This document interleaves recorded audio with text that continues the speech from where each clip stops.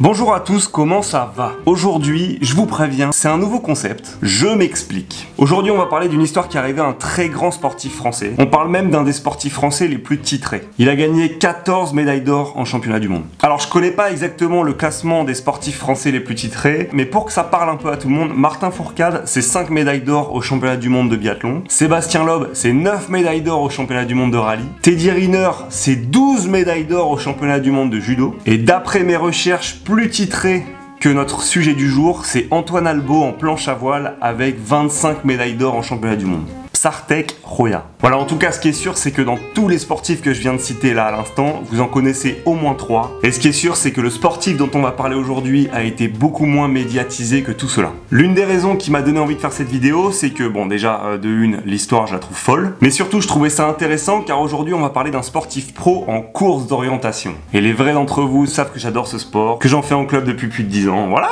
ça fait plaisir. Alors aujourd'hui on va parler de sportifs, on va aussi beaucoup parler de compétitions sportives et on va se focaliser sur les championnats du monde. En course d'orientation, les championnats du monde ça s'appelle les WOC, World Orienteering Championship. Alors les WOC, les championnats du monde ça comprend le sprint, la moyenne distance, la longue distance, le relais et depuis 2014, le relais mixte. Alors pour compléter un peu plus ce bordel, depuis 2019 ça a un peu changé. La Fédération internationale a décidé de séparer les courses en forêt et les courses urbaines. Donc depuis 2019, une année sur deux, il y a les WOC forêt et les EOC urbains. Et l'année d'après, il y a les WOC urbains et les EOC forêt. Voilà, maintenant dans les grandes lignes, vous savez à peu près tout. Et pour ceux qui ont besoin d'un petit reminder sur ce que c'est que la course d'orientation, les différents formats de course, etc., vous pouvez aller voir ou revoir la vidéo que j'ai faite avec Isia et Lucas Bassé. Elle est juste là.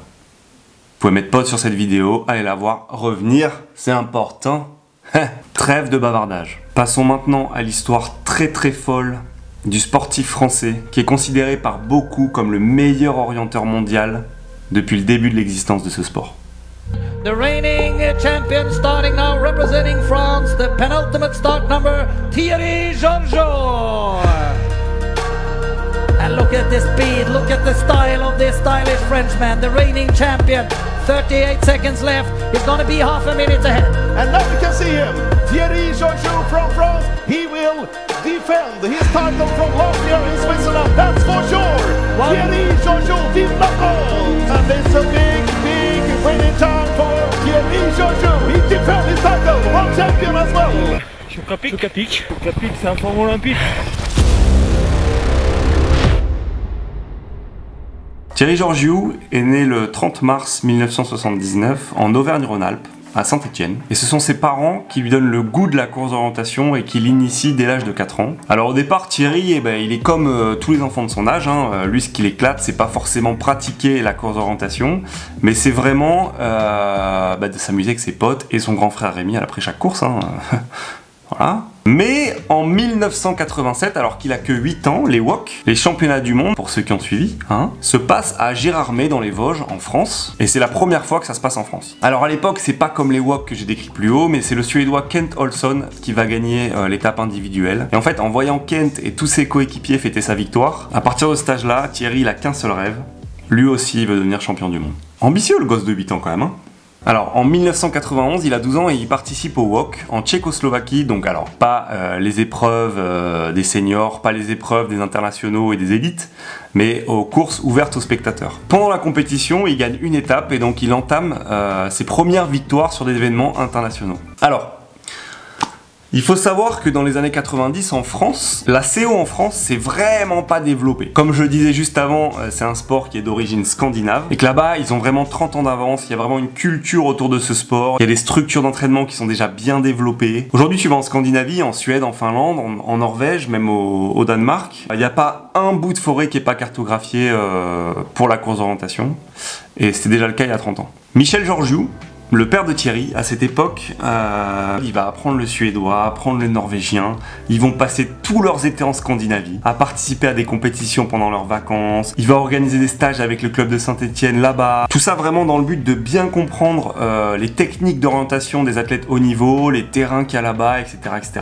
Alors on sent bien que la famille Georgiou, elle a une place importante à cette époque euh, dans le développement du haut niveau de la CO en France, à tel point que Michel Georgiou devient entraîneur national et en 19 1998, le pôle France haut niveau est né. C'est d'ailleurs cette même année que les premières médailles internationales ont été gagnées par les Français lors des championnats du monde junior. On sent vraiment qu'à ce moment-là, la France commence à avoir un, petit pied dans le milieu de la CO dans le monde. Et on peut dire que c'est des années pas trop dégueu pour Thierry. 4 médailles en championnat du monde junior. Malgré tout ça, euh, bah, il y a un gap, hein. il y a un gap énorme entre le niveau junior et le niveau senior, et Thierry, bah, il le sait bien. Il le sait bien parce qu'en parallèle des J-Walk, il participe aussi au Walk, donc au championnat du monde senior, en 1997 et en 1999. Alors en 1997, il a 18 ans, faut pas l'oublier, il fait 50e sur la moyenne distance, et l'équipe de France masculin fait 12e en relais, comme en 1999. Simplement que Thierry s'améliore un peu sur la moyenne distance, puisqu'il fait 24e. Ce qui est vraiment pas mal quand tu sais que le mec est encore que junior ou alors tout juste euh, première année senior. Alors ouais Thierry, hein, il le voit bien qu'il y a un très très gros gap entre le niveau junior et le niveau senior et il le sait tellement bien qu'il prend la décision dans les années 2000 de se casser en Finlande et il va signer dans un deuxième club. Kalevan Rasti. Tout ça dans l'optique de se préparer dans les meilleures conditions qui puissent être pour les championnats du monde qui ont lieu sur les mêmes terrains en Finlande en 2001. Son objectif lors des walks en Finlande? C'est simple, finir dans le top 10. En plus de ça, son objectif c'est d'année en année de grimper dans le classement. Faut être costaud quand même, hein, parce que tu te dis que top 10 au walk, euh, tu vas quand même chatouiller euh, les meilleurs orienteurs mondiaux, voire sûrement même euh, des athlètes qu'il admirait quoi. Et eh ben vous savez quoi? En 2001 en Finlande lors des walks, avec sa prépa de fou furieux, Thierry gagne tout. Non. Non, c'est complètement faux. Il fait 13e en sprint, 18e en moyenne distance, et l'équipe de France de relais masculin améliore son classement d'une place par rapport aux années précédentes puisqu'ils font 11e.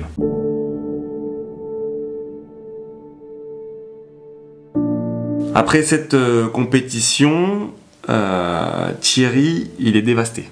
Voilà, on va pas aller par quatre chemins. Alors premièrement parce que déjà euh, avec sa prépa de fou, en ayant fait j'imagine un tas de concessions, le mec n'a pas réussi à réaliser ses objectifs. Mais surtout, c'est que Thierry sur la moyenne distance, euh, il a vraiment la sensation d'avoir fait v'là la course parfaite. Mais il met quand même 3 minutes de plus que le mec qui gagne, et pour en rajouter encore plus dessus, bah, le mec qui gagne, c'est Passi Ikonen, un Finlandais. Et ce mec-là, il était junior aussi deux ans auparavant, euh, qu'il est tout juste plus jeune que Tero, qui se sont battus ensemble toutes leurs années junior. Enfin voilà, là, c'est trop pour Thierry. Euh, il se fait ken par un mec avec qui il a été en challenge toutes ses années junior. Voilà, la, fierté, elle prend un coup, tu vois. Pendant deux mois après la compétition, euh, il va plus toucher une carte de CO. Il est au bout, le mec, en ras des pâquerettes. Euh, il est en train de tout remettre en cause. Sa carrière, ses plans de vouloir devenir champion du monde. En fait, il est vraiment en train de se demander s'il a pas visé trop haut, quoi. Vous savez quoi? La vie est bien faite? Non. Un homme a su lui redonner confiance. Cet homme a réussi à lui faire prendre du recul par rapport à la situation. Cet homme, c'est tout simplement Borgé Vartianen Björg, Björg l'entraîneur de son club finlandais, Kaleman Rassi. Et avec tous les conseils que son entraîneur lui a donnés, Thierry va améliorer peaufiner, permettre d'avoir une meilleure qualité d'orientation. Je pense que j'ai énuméré tous les adjectifs possibles pour expliquer que Thierry va améliorer euh, sa manière de s'entraîner, sa manière de s'orienter, et tout ça pendant tout l'hiver qui a suivi euh, les WOC 2001. Jusqu'en 2002, les orienteurs français n'ont fait que progresser. Sur toutes les étapes de World Cup, par exemple, on a François Gonon qui fait troisième en longue distance en Suède, Damien Renard qui gagne un sprint en République tchèque, Thierry qui fait deuxième sur une étape de sprint en Norvège. Enfin vraiment, les mecs commencent vraiment à accrocher le haut du panier. L'année 2003, euh, c'est un tournant euh, dans la vie sportive de Thierry. Je pense même dans sa vie perso. Je le connais pas euh, personnellement, mais j'imagine que ce genre de choses fait que dans ta vie c'est plus pareil après. Cette année-là, les walks ont lieu en Suisse. Thierry fait troisième en sprint. Et Thierry gagne la moyenne distance et devient donc champion du monde de course d'orientation.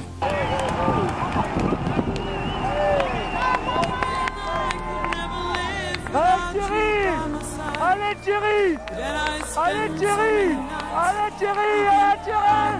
First, winner of the gold medal and the new world champion representing France, Thierry Georges.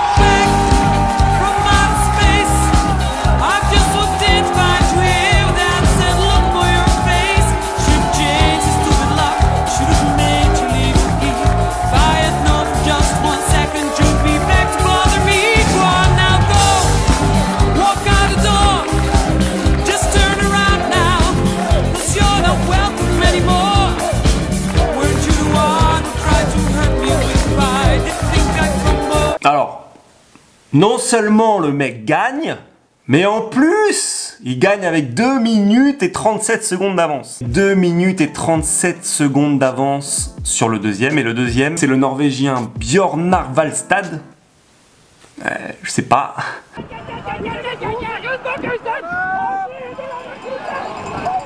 Second, Björnar Valstad. Et ce mec-là, lui, il est multiple champion du monde. Donc imaginez un peu la, victoire de Thierry. Euh, cette première place devant un multiple champion du monde, c'est quand même euh, stratosphérique. Après cette victoire, le monde de la course d'orientation scandinave prend vraiment conscience que la France est désormais un adversaire majeur dans ce sport et tous les regards sont tournés vers Thierry. Et son nom, que tous les Scandinaves galèrent à prononcer. Comme moi je galère à prononcer leur nom de meuble Ikea là. Bon, je vais pas faire défiler la vie de Thierry Georgiou de cette manière jusqu'en 2023, hein, parce que sinon la vidéo durerait 18 jours. Donc on va synthétiser. 14 fois champion du monde, 5 médailles d'argent en championnat du monde, 4 médailles de bronze en championnat du monde, 3 fois champion d'Europe, 3 fois vainqueur de la Coupe du Monde, 15 victoires sur des étapes de Coupe du Monde, 5 fois champion du monde universitaire, une fois vainqueur des World Games. C'est euh, le seul orienteur mondial à avoir gagné les championnats du monde sous tous les formats. Voilà. Est-ce que c'est bon pour vous? Pour la vidéo s'appelle L'incroyable malchance de Thierry Georgiou. Alors oui, euh, dans, cette carrière incroyable, il n'y a pas eu que des titres. Il y a aussi eu des épisodes récurrents très compliqués, et c'est là-dessus que je voudrais orienter la vidéo. Comme je vous le disais tout à l'heure, les WOC, les championnats du monde, c'est quatre formats, le sprint, la moyenne distance, euh, la longue distance et le relais. Et c'est sur ce dernier format que j'aimerais qu'on s'attarde, qui est le format mythique de la course d'orientation.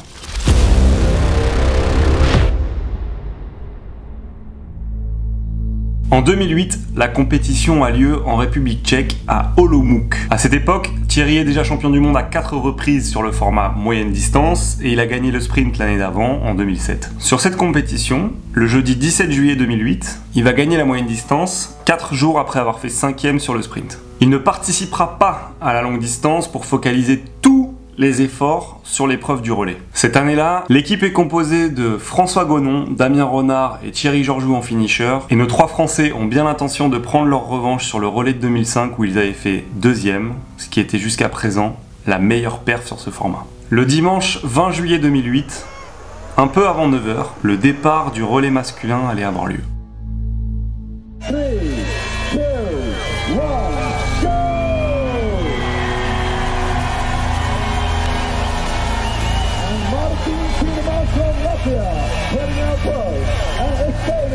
Après un très très bon premier relais, François Gonon lance Damien Renard. Après 1h24 de course, ce dernier place l'équipe de France en deuxième position, juste derrière la Grande-Bretagne. Chez les Anglais, c'est John Ducan, Ducan qui lancera Jimmy Stevenson sur le dernier relais en première position 30 secondes devant l'équipe de France et Thierry Georgiou. Dès la deuxième balise, Thierry rattrape Jimmy et ils vont faire une bonne partie de la course ensemble. Deuxième poste, troisième, 4, 5, 6, 7, 8 et tout ça 1 minute 30 devant le troisième qui est le russe Valentin Novikov. À la 15e balise, Thierry arrive seul. Là, je peux vous dire que d'un point de vue spectateur, ça sent bon la médaille. Tout le monde est en folie. On se dit que l'équipe de France va potentiellement gagner euh, sa première médaille d'or sur le, format relais. C'est incroyable.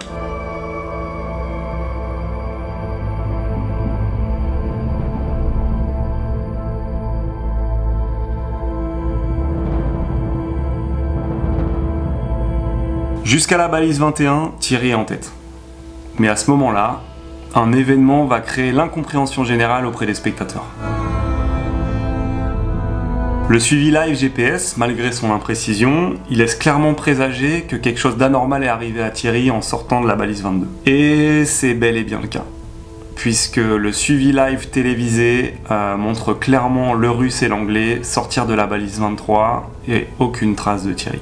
À ce moment-là, euh, le speaker annonce Thierry blessé, euh, c'est l'incompréhension totale et grosse grosse dose d'inquiétude euh, du côté des Français. Les deux concurrents russes et anglais continuent de se tirer la bourre. Et c'est quelques minutes plus tard qu'on voit seulement des images de Thierry apparaître sur les écrans.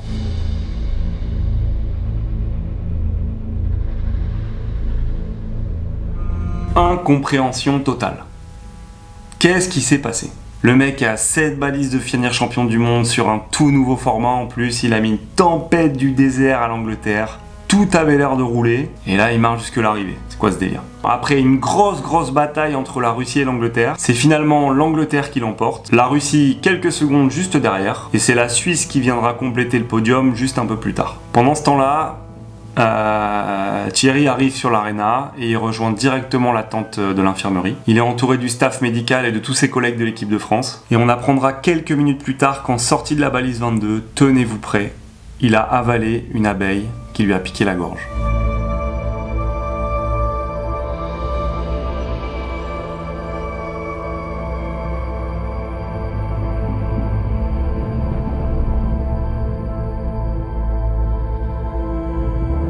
En arrivant à l'infirmerie, il est au bord de l'asphyxie et euh, il est héliporté euh, tout de suite vers l'hôpital le plus proche. Bon, apparemment, au moment de partir à l'hôpital, ça allait déjà mieux, mais gros gros moment de frayeur pour lui et pour euh, tous ses collègues de l'équipe de France. Voilà ce qui s'est passé en 2008. Alors rassurez-vous, une fois soigné, Thierry a été mieux, il a mis tout ça de côté, il a repris l'entraînement, prêt à en découdre pour prendre sa revanche sur le relais l'année d'après en Hongrie.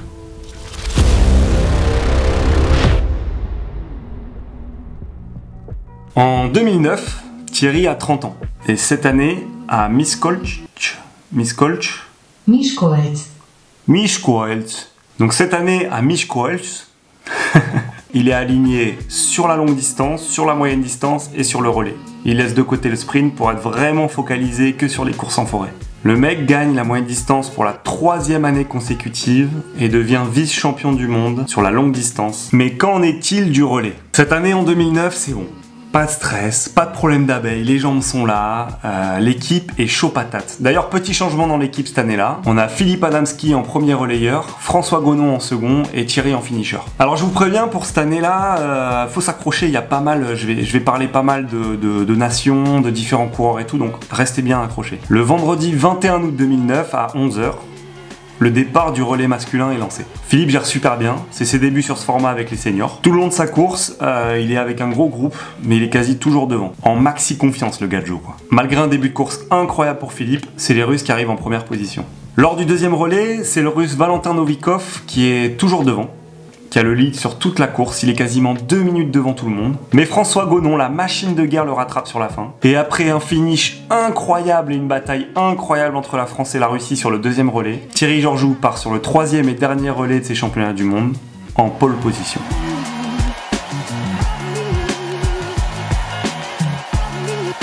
Bravo Philippe, bravo François, donc Thierry est quelques secondes devant la Russie, la Russie avec André Krakov. Les deux sont une minute devant la République tchèque et la Suède, et deux minutes devant la Norvège. À ce stade de la course, euh, même si Thierry est devant, il n'y a rien qui est gagné pour la France. Tout peut encore se passer. Pour ajouter encore un petit peu de picante, le russe André Krakov, il fait un début de course vraiment pas fameux, ce qui fait que Thierry, euh, il a de plus en plus d'avance sur le groupe qu'il suit. Le dernier relayeur de la Suède, Martin Johansson, très très très chaud, qui fait une course monstrueuse. Il prend doucement le lead sur ce, groupe, euh, groupetto, et ils reviennent à une minute de Thierry, jusqu'à la cinquième balise. Balise qui va faire beaucoup parler d'elle à l'issue de cette compétition. À la cinquième balise, Thierry va faire une erreur. Sur ce poste, euh, Thierry va perdre euh, environ deux minutes. Euh, ce qui va laisser l'opportunité au Suédois Martin Johansson de passer devant. Après ce poste, la France est alors deuxième avec la Norvège, suivi de très près par la République tchèque et par la Russie. À la suite de ce poste-là, la Russie va faire quand même pas mal de boulettes et se décrocher petit à petit de ce groupe. Quelques balises plus tard, Thierry Georgiou et Anders Norberg, le Norvégien, rattrape le Suédois. À ce stade, ça s'annonce être une très très très belle bataille pour le titre entre ces trois nations. La course se poursuit. Ce que je vais vous dire, messieurs dames, euh, va vous scotcher. Hein. Voilà. Jusqu'à présent, euh, les nations comprises dans ce premier paquet sont la Norvège, la Suède, la France et la République tchèque. À ce stade de la course et à ce niveau euh, international, on est sûr à 95% que ces quatre nations vont finir dans le top 4. On sait pas dans quel ordre, c'est la Suisse qui a gagné, suivi de la Russie et de la Finlande. Voilà.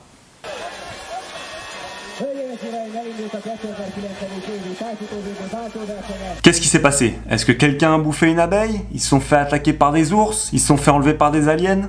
Eh ben non, rien de tout ça. On revient un peu en arrière. Jusqu'en sortie de la balise 11, le groupe France, Norvège et Suède est ensemble. Ils avancent tranquillement, main dans la main, jusqu'à la balise 12, où c'est Martin Johansson, le Suédois, qui pointe en premier, après une bonne grosse cotasse des familles.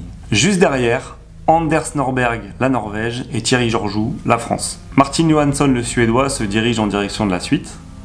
Mais sur le live tracking GPS, d'un seul coup d'un seul, il s'arrête. Quelques secondes plus tard, la trace de Thierry et d'Anders Norberg s'arrête au même endroit. Là, on se dit, bon, il y a peut-être un bug. Alors que Smola, le tchèque, poinçonne la balise 12, la trace d'Anders Norberg, le norvégien, s'active de nouveau. Tout juste après, on voit que le tchèque, en continuant sa course, revient sur ses pas pour se diriger vers Thierry et Martin. L'incompréhension, elle est totale à ce stade. Là, là y a... on comprend plus rien. Pendant ce temps-là, Mathias Mertz, Andrei Kramov et Mats Saldin, respectivement suisse, russe et finlandais, ils continuent leur course et finissent le relais et composent le podium. Sur l'arena, euh, les spectateurs se demandent ce qui se passe. Puis quelques dizaines de minutes plus tard, ils voient Thierry, Anders et Michal arriver euh, sur le lieu de course, sur l'arena, avec Thierry qui est torse nu. Fair play.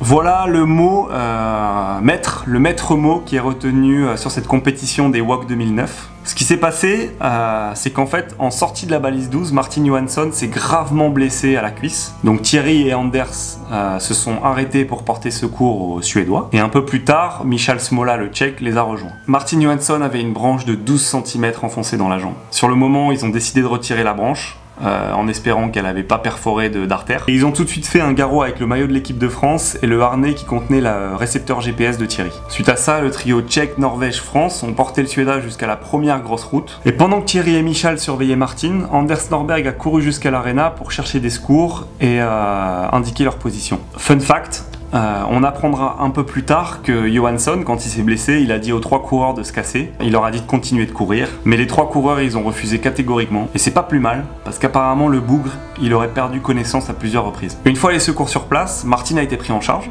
Et les trois héros ont rejoint l'arena et ont été acclamés par la foule.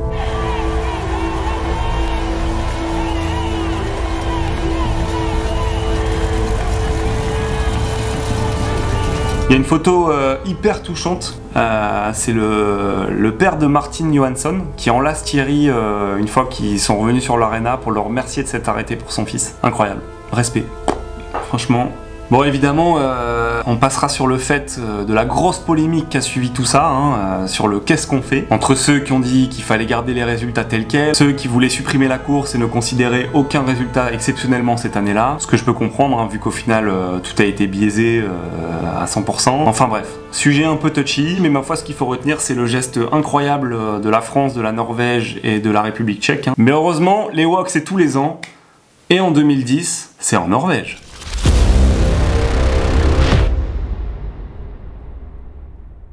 Oh, le faux raccord. Je suis désolé, euh, on est quelques jours après, je suis allé chez le coiffeur, mon micro a décidé de bugger, tout simplement, donc je refais la séquence. En 2008, c'est Dame Nature qui brise les rêves de Thierry. En 2009, c'est un concurrent qui se blesse. Et en 2010, ça va être quoi? Il manquerait plus que ce soit Thierry qui fasse une erreur. En 2010, les WOC ont lieu à Trondheim, en Norvège. D'ailleurs, j'y étais, ça fait plaisir. Bon, je revenais des États-Unis, je faisais 15 kilos de plus. Cette année-là, Thierry fait médaille de bronze sur la moyenne distance et médaille de bronze sur la longue distance. Le Thierry là, euh, il a un peu trop bien habitué ses fans, il a un peu trop bien habitué les supporters français. C'est la première année depuis 2007 euh, qu'il fait pas de médaille d'or.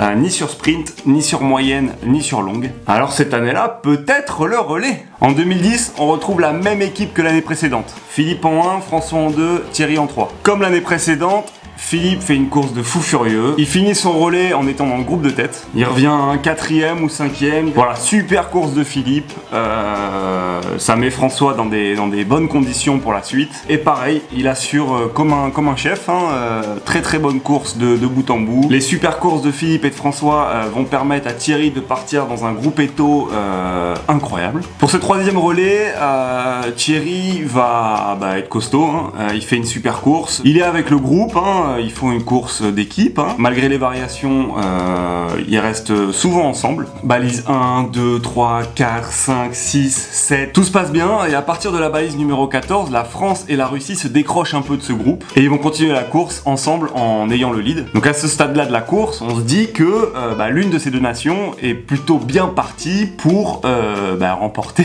le relais quoi. Balise 15, ils poinçonnent ensemble. Balise 16, ils sont ensemble et au moment de partir euh, à la balise 17, euh, ben, en fait je vais, je vais laisser euh, les images parler. Hein.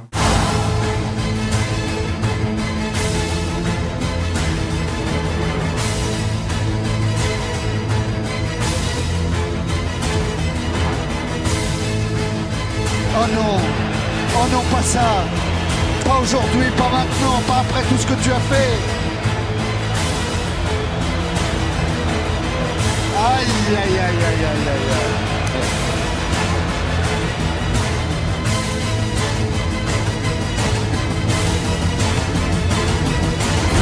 On est euh, sur une euh, sur une erreur. hein.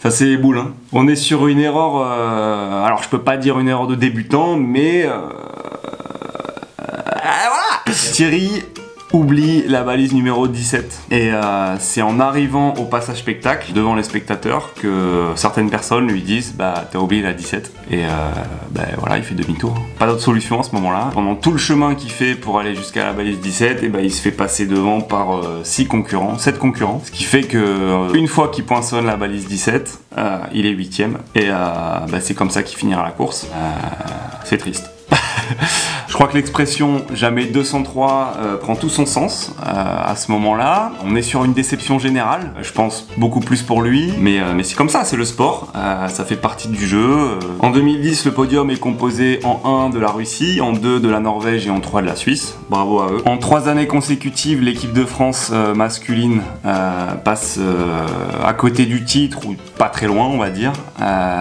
Une abeille, une blessure et une erreur. Voilà. C'est euh, c'est la malédiction. La malédiction de Thierry Georgiou euh, 2008, 2009, 2010. hein. Il y a peut-être un truc à, à ce moment-là qui peut les sortir de tout ça au niveau motivation. C'est que l'année d'après, en 2011, les WOC ont lieu euh, à la maison, en France. En 2011, Thierry a 32 ans. Les championnats du monde se déroulent en France. Thierry gagne la moyenne distance. Thierry gagne la longue distance. Et l'équipe de France, composée de Philippe Adamski, François Gonon et Thierry Georgiou, gagne le relais de ces championnats du monde pour la première fois de l'histoire.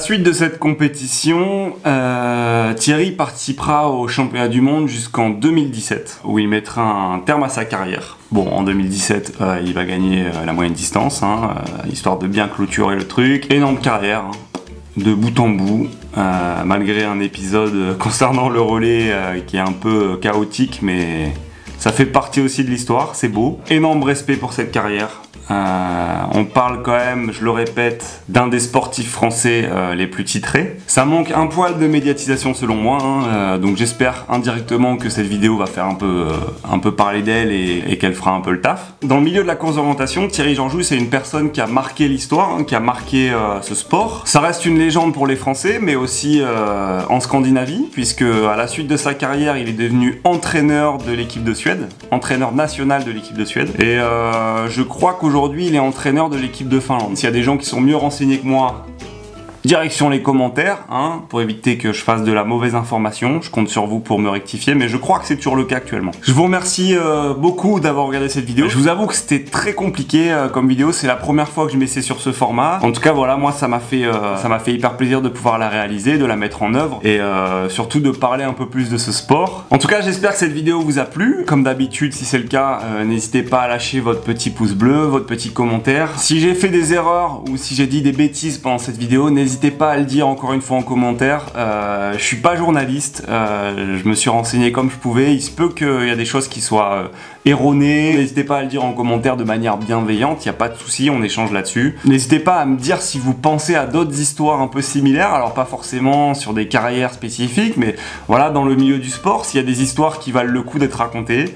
Euh, je sais pas, j'ai pas d'idée, je, suis- fermé à rien. Mais en tout cas, je suis bien chaud de. bien bien chaud pour un épisode 2. Puis voilà, abonnez-vous. Ça fait plaisir. Ça me fait plaisir de reprendre avec ce, ce nouveau format. Ça permet de redémarrer avec un peu de nouveauté. Euh, ça me plaît. Je vous embrasse, merci d'avoir regardé cette vidéo et euh, ben à bientôt. Ciao ciao. Waouh. J'ai fait ça. Montre. J'ai fait ça pour les éclairs, pour lancer des bouts des éclairs et, ça et ça pour les météorites. J'ai- fait un code pour envoyer ces quatre là et ces et ces trucs. En fait, ça fera Ah ouais. ça se rassemblera. Ça c'est des lance-missiles ça? Ça c'est pour lancer des éclairs. Ah. Pour ok. des... Les aléas du direct pendant que maman travaille. Désolé.